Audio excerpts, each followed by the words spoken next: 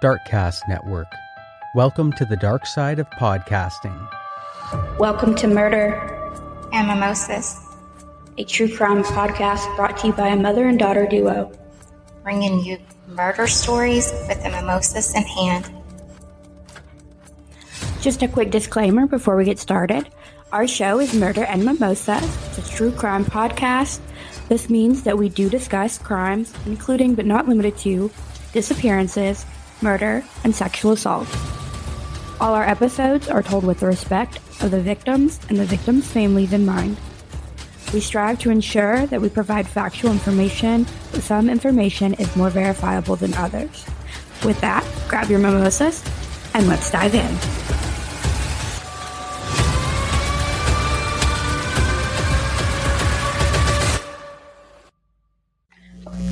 Welcome back. I'm Shannon. And I'm Danica. Today we're going to tell you the story of the Goldmark murders.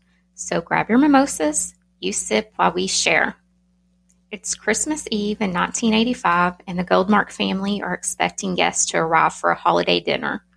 The ham is in the oven, other pots are simmering on the stove, and 43 year old Annie is upstairs taking a shower.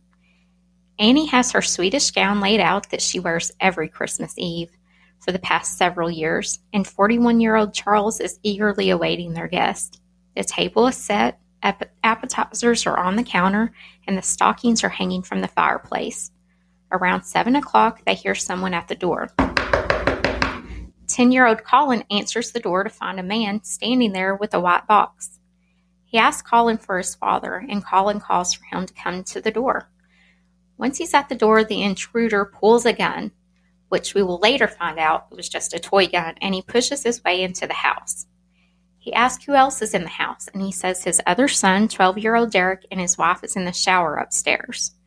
The intruder has them all head upstairs to the master bedroom to get Annie out of the shower. She dresses in her robe, and the intruder has them all lie down on the floor, facing away from him so they won't notice his toy gun. Charles asks if he wants money, and he says, Well, I mean, it wouldn't hurt. Charles gives him the $14 out of his wallet. He then handcuffs both Annie and Charles and uses rags covered in chloroform and knocks the family out. Before he knocks them out though, Charles informs him that they are expecting dinner guests at 7:30. The intruder had so much planned that since he's not sure if Charles is bluffing or not, he has to make this quick. He grabs an iron and bludgeons all four of the Goldmarks in the head. He feels for a pulse when he's done, and they aren't dead yet. He heads to the kitchen to get a knife, and he notices the gash in Charles's head when he returns. He takes the knife and he stabs him in the open wound in his head. And while he has the knife there, we'll later learn that he says he swished it around. Although Annie, too, had been beaten in the head, she didn't have a gaping wound like her husband, and the intruder strapped stabbed her in the ear and in the chest, which killed her immediately. He did find head wounds on both of the boys and did the same thing to them as he did to Charles. Knowing time was running out, he grabbed the debit card, took the phone off the hook, and shut off all the lights and left out the basement door. Okay, this sounds like a robbery gone bad, but you said he had a lot planned. Does this mean this family was a target or like a lot of murders he wanted to get his jollies off on the torture? I mean, what did he have planned exactly? There is actually a lot to unpack in that question, so let me start with the intruder. He happens to be 27 year old David Lewis Rice. David had grown up mostly in Colorado, but his dad was a construction worker and they did move around a lot. His brothers described him as very quiet, a loner, and he never really had any friends. When he was four years old, he fell through a sliding glass door and sustained a head injury. Not only that, but his right eye was cut and he was legally blind in his right eye due to this fall. I mean, I would think that that would kind of make most of us insecure and honestly could explain maybe the lack of friends for him growing up. It could have. Um, his brothers do also say that they picked on him, which, of course, I mean, that's what all siblings do. Of course. So when he was around 10 or 11, he got in an argument with one of his brothers, and his brother Randy later found him hanging from a noose in the bedroom. He had already turned blue, and they did get him down and revived him. That seems really extreme for just an argument, but we also don't know what else was going on and what, you know, demons he may have been fighting internally. I realize this was the 80s. Mental health wasn't like a thing, really, um, especially compared to now. But I mean, did they get him any type of help? They actually did get him a therapist that he went to just a few times. But not long after beginning his treatments there, the doctor got busted for molestation of his clients. That's the lowest of low, Scott. They're coming to you for help. They're already in a bad mental state, and you just take advantage of him. I hope that you got justice for that. Was David one of his victims? He never said, and his brothers later said that they don't think he would have ever admitted it if it had happened to him. So he ends up dropping out of school at 15, and at some point he enlists in the Navy, but he gets discharged during basic training. And I wish I could find out why he was discharged, but I never could find anything out about that. He gets married at 21. He has a son. Also, I couldn't really find any information on his wife and son, which I can't blame them. And I don't think he stayed in their lives from what I could tell. His wife ended up divorcing him, though, because he was charged with indecent exposure. So he ends up having all these odd random jobs. He doesn't keep them long. And then in 1982, both of his brothers encourage him to move to Seattle, where they are, so maybe they can help him. He has more jobs that don't pan out. He's couch surfing at times, living in his car, and then he decides he's going to go to school to be a welder. Finally, things are looking up for him until he's laid off. Not to mention that he also burned his left eye while welding. And of course, when people describe him, they talk about he's these really creepy eyes he has because now both of them are messed up. I don't know about the 80s in Seattle, but here, at least in Arkansas, welding jobs are in pretty high demand. Was he able to find a job pretty quickly so that he's not homeless and living in his car again? No, and he is not happy about it either. His unemployment compensation ends up running out before he finds another job, and sometimes people just need someone or something to blame for things going on in their life. And he blamed the community, the communist taking over America and Jews. Okay, Hitler. so in 1982, David met 40 year old Ann Davis, a naturopath doctor that invited him to come live with her in her apartment, among, well, other things. So he got himself a sugar mama, is what you're saying. Or she could have got herself a boy toy. Either way, um, that's pretty much what I'm saying. So Anne also introduced him to a club she was a member of, the Duck Club. And no, it's not for duck hunting. This was a club founded in 1980 by Robert White, and this was an extremist, anti communist, anti Jewish group that had a chapter in Seattle. He is all in on this because, like I said, he's looking for someone to blame. While at the meetings, he hears the mention of Goldmarks being communist and Jews. Okay, starting to get the connection now. It sounds like it, but also not really. I have to tell you about Charles's parents for you to fully get the whole picture.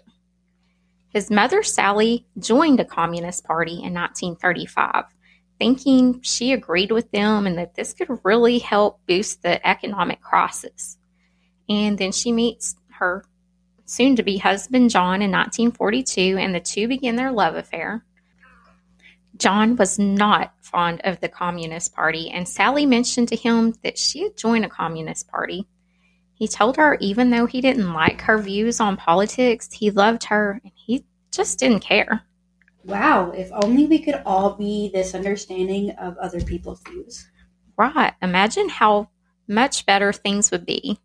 So, Sally ended up dropping out of the Communist Party in 1943, which is when the two of them got married. Life happened, and then in 1956, John ran for the House of Representatives and won. And he held this for two terms, but was running for his third term when word got out to the press that Sally had been a member of the Communist Party. It was definitely a smear campaign. John lost the election, but he ta- didn't take it lying down. He filed a lawsuit for 225,000 for defamation of their names. They were awarded 40,000, but after they won, of course, it was appealed. The Supreme Court ended up ruling public officials could not collect damages for criticism of their official actions in absence of proof of actual malice. So, all right, back to David. This lawsuit was talked about in the Duck Club, and David looks up the Goldmarks and he finds an article about the Goldmarks moving to an affluent neighborhood, and they even give the address in the paper. This must have been a slow news day if this was newsworthy. Maybe this stuff is still the papers. I don't know. I obviously don't read them, but they were seriously reporting on who moved into the rich neighborhood and was like, here's their address. Yeah, it could have been a slow day. I don't know, but yes, that is what they did. And like you, I don't read the papers, so it may still be a thing. I have no idea. So, what David doesn't realize at this that is this address is for Charles and Annie, not John and Sally. In fact, John and Sally have both passed away by this time.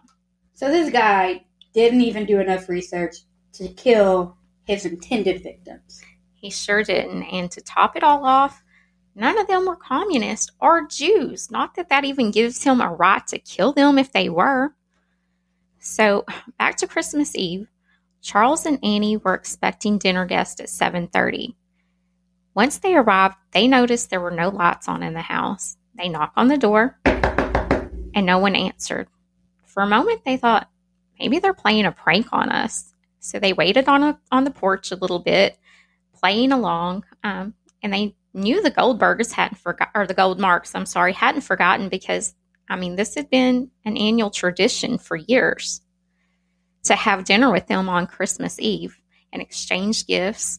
So they tried again at the door. Still no answer. They were worried and they went to the neighbor's house that they knew had a key. So Jeff Haley. Jeff came over and he opened the door. They could hear noises coming from the second floor. Jeff ran upstairs and found a bloodbath in the master bedroom. There was blood splatter all over the place, as well as brain matter. The scene was horrible. Oddly enough, Charles wasn't dead. He was covered in blood and moaning, Hurt! While lifting up his handcuffs, he was talking about how much they hurt. So while someone called 911, others found something to cut the handcuffs off Charles. Annie, however, was dead when the first responders arrived. But Charles and the boys were still alive somehow, but in very critical condition and not expected to make it.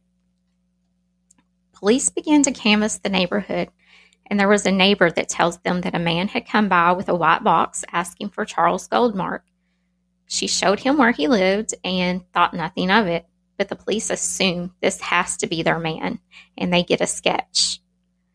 Once David left the Goldmarks, he goes to the bank and tries the ATM card and realizes that they gave him the wrong PIN number. He- I'm sorry. kind of funny. It is. Okay. Which I wasn't expecting since he actually told them that they had guests coming, but okay. So he throws this card in the bushes and walks the two miles back to Ann's. He'd come there by bus, but he's now covered in blood and knows that he can't get on a bus covered in blood because, of course, that would raise suspicion. Okay, obviously, I don't know how much blood was on him, but just from the sounds of the crime scene and the way he killed them, he's got to look suspicious regardless walking around because he's got to be covered in blood too. At least it's the only way I can imagine. Yeah, and I would be so wor- nervous walking around anywhere. I mean, you, just look like a nutcase, but by whatever means, he still gets there um, without being caught or anything, and he gets to Ann's. He hides his bloody clothes after he cleans up and changes. On the way to Ann's, he realizes that he left the handcuffs and they actually have his fingerprints on them. So he decides he's just going to change and he's going to head back over there before anybody notices and grab those handcuffs. Okay, is Anne home? I mean, what does she say or have to think about this when he just walks in covered in blood?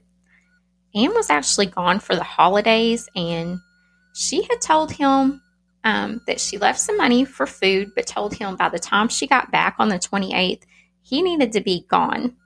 She had said that he had been acting really strange. He was talking about voices from outer space. These voices weren't audible. He was just getting these messages telepathically, which, uh, okay. Either way, it's crazy. They were warning him about Jews and communists. And they also told him he was a soldier. Yeah, and if your boy toy is talking like that, it's time for a new one. It's close to Christmas. Just write a letter to Santa because that one's got to go. so he heads back to the house. He sees the police surrounding the house and he assumes he's going to be busted once the fingerprint analysis come back on the handcuffs. He spends the night roaming the streets and riding the bus since he's now officially homeless again. The, ne- the next day, he heads to Homer Brand's house. This was the president of the Duck Club. It's now Christmas Day, and Homer and his family were actually heading out. David tells him how the police are after him because he had just, and I quote, I just stumped the top communists. There were four of them, end quote. Homer ignored David since he was used to him rambling, and he didn't really take anything he said serious. He excused himself and said he had to go for a family event.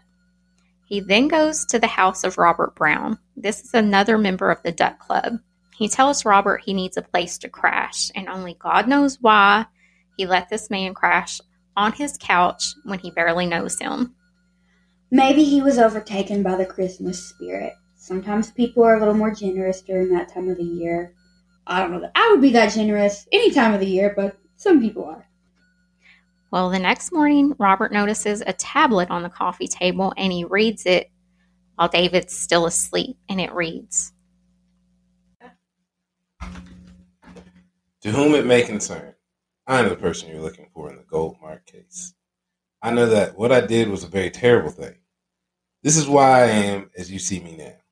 I want it perfectly understood that no one else had anything whatsoever to do with what I did.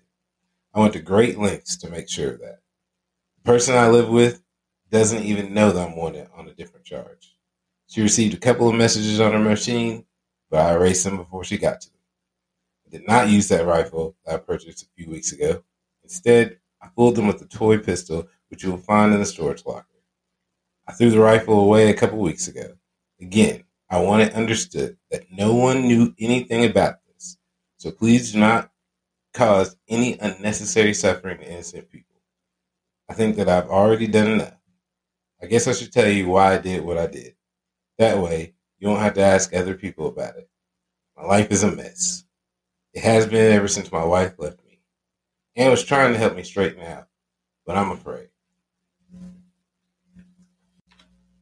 Robert isn't sure if this is a story he's just concocted in his head or is this actually a confession.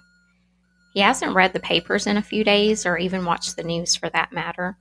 He's trying to decide what to do, if anything, and then David wakes up. He tells David he's going to go get a pack of cigarettes. And while heading to a club he belonged to, he did ask a few people along the way had they heard of the Goldmark murders, which most people had. One even held up a newspaper that had the Goldmarks on the front page. Talk about unwanted house guests. At this point, this dude's like mind has to be racing. Like, why did I let this stranger in? If I go back to my own place, like, am I going to be the next to die? Would not want to be in his shoes. He definitely does not want to go back, so he calls the police from a payphone. The police arrive and they're speaking to Robert across the street when they see David leaving the building.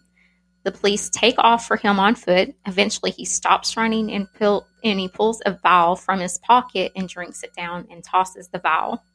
Okay, I know you're like deep in this story, uh, but what's in the vial and why and who just walks around carrying one in their pocket? So they do analyze the bottle and it was liquid nicotine. Okay, liquid nicotine. I don't really get that. Is this like a lethal dose or is that a thing? From what I can gather, I think it was a suicide attempt. So I did look this up. So 60 milligrams is enough to kill you. And I don't know how much was in the vial, but I think that that was his plan was try to kill himself with this vial of liquid nicotine, which I'd never heard of till this case. So he's taken to the station. They find the key for the handcuffs in his pocket and they ask if he wants to finish the letter he started at Robert's, and he agrees to do that. Okay, I mean, his letter did kind of end abruptly. Clearly wasn't finished, but you never know. I'm afraid that she isn't able to do much for me. I'm too far gone. When I left high school, I could go out and get a job in any town at any time I needed. When I got married, jobs were starting to get scarce. I had to do more walking and searching to find work. Found myself more and more on the unemployment line, which was getting long. This is where the letter stops, and he tells them that he'd rather just tell them what happened. But after he speaks to an attorney, even after speaking to his attorney, he tells them everything. He said he had been staking them out for about six months, although he had yet to see them at all. So I can't say how good he really is at staking someone out. I was about to say, did he up at the wrong house? yes. Even staking out the right people? He says he bought the chloroform and had tried it out on himself. Uh, bought it where? Apparently, a drugstore.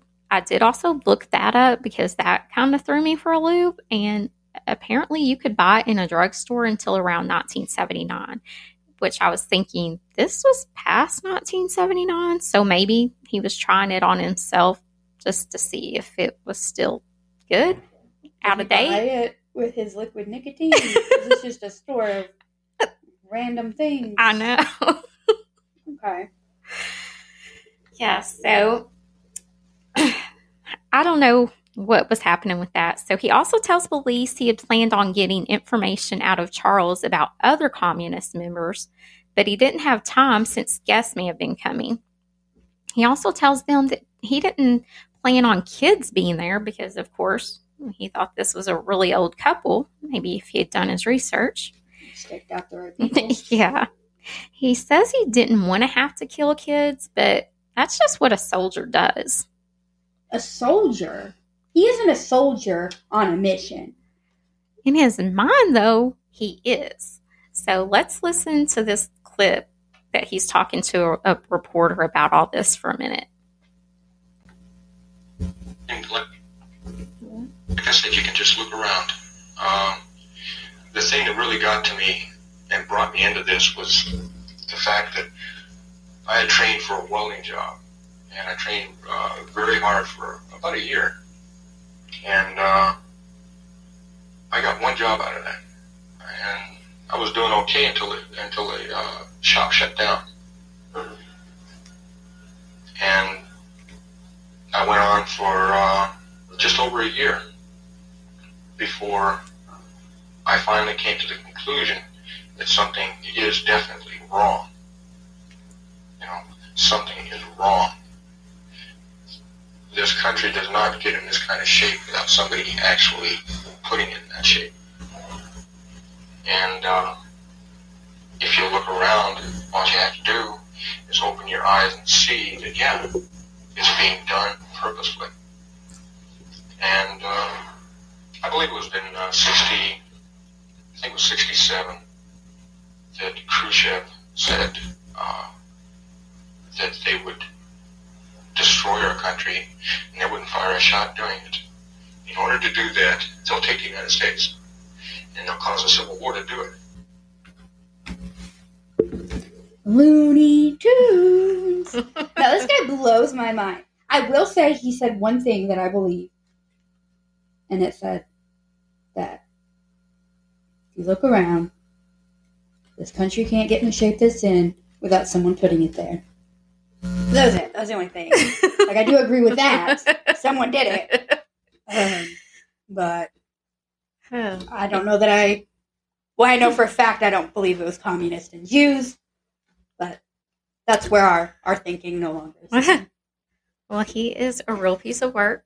He was originally charged with one murder and three attempted murders, but unfortunately, the rest of the Goldmark family passed at various times, with Derek being the last to pass on January 30th of 1986.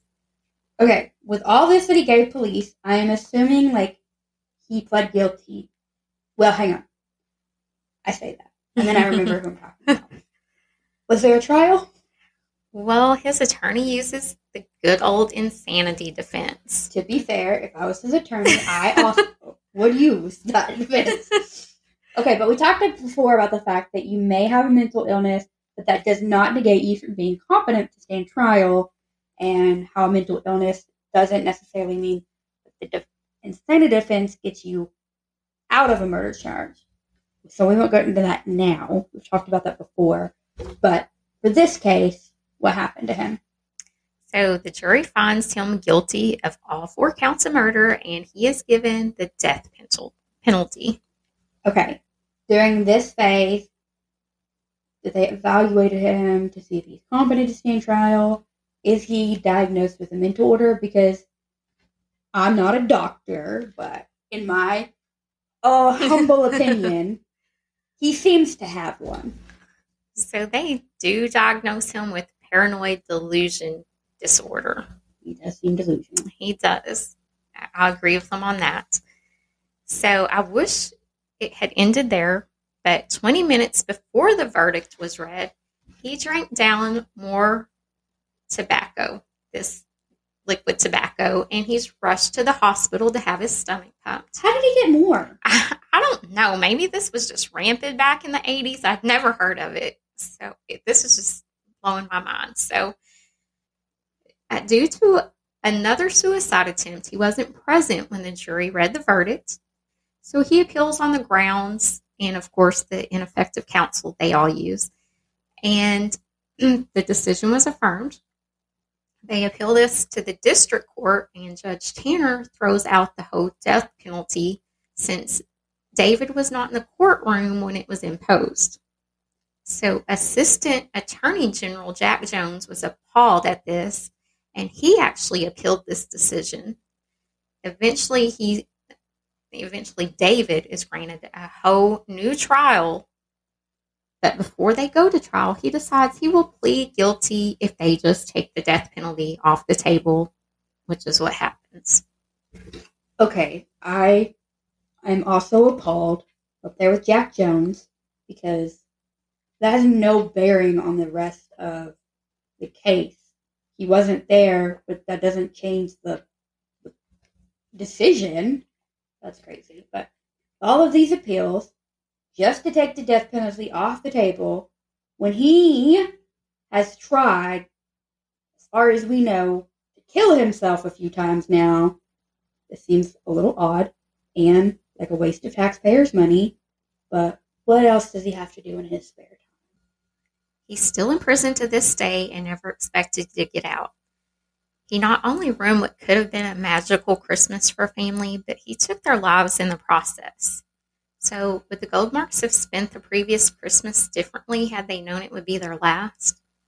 We never know when it's going to be our last time together together with loved ones, so take advantage of every minute that you have with your loved ones this year. Merry Christmas Merry Christmas. and happy holidays. Happy holidays.